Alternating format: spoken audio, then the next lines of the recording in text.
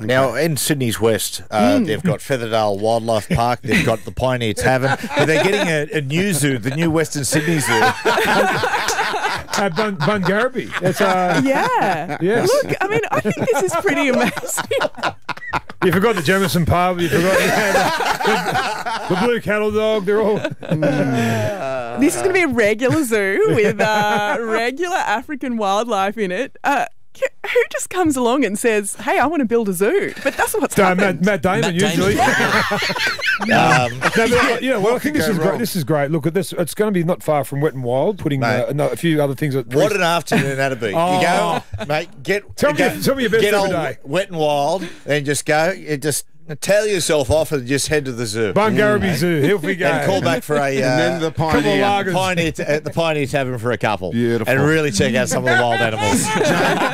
Jane, thank you so much for. The Grill Team, Gus, MG, and Matty Johns.